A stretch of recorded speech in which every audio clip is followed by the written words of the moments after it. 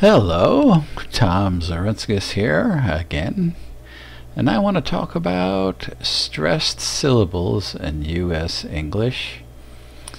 Uh, it's a Truespel phonetics analysis, and we're again taking the 5,000 top words that you find in newspapers and magazines, and of these 5,000 words, we add up the instances and the words are in this column the instances in this are in this column. And you see here double L double T double S. Those are the phonetic versions of the consonants where a double consonant in, in, indicates in Truespel a stressed syllable other than the first and that is interesting because if you just search on all the doubles, you can find all the stressed syllables other than the first. And here's what we found. We counted up all of these. And in the top 5,000 words, you had 1 million uh, 214,000 uh, instances of a stressed syllable word out of uh, the total 15.4 million total instances for the 5,000 words.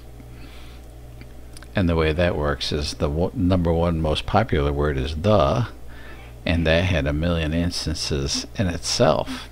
So we're counting words and we're counting instances, and looky here. Uh, we have 8% of the words in that of all the instances have stress other than the first syllable.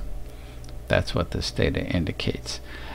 But it's 24% of the words when you just look at the words themselves. Because the difference is that the uh, single syllable words are used far more frequently. And so uh, this actually points that out. Here we have the syllables in a word and the stress on the syllable and you see that wow. We got about 77% of the words have one syllable. For the two syllable words stress is on the first syllable uh, that is 12% of the total. So the uh, then the second syllable is on the 4% so. If you add those together maybe I should have done that. It would be 89% uh, is of the words are either have stress are one syllable words or have the stress on the first syllable. And this is what it adds up to. And here are the totals up to the total of instances.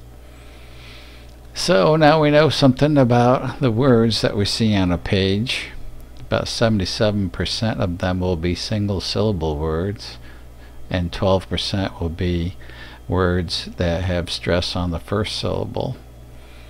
And we know that uh, this is saying that uh, what is it saying? That only about 8% will have stress on other than the first syllable interesting stress analysis.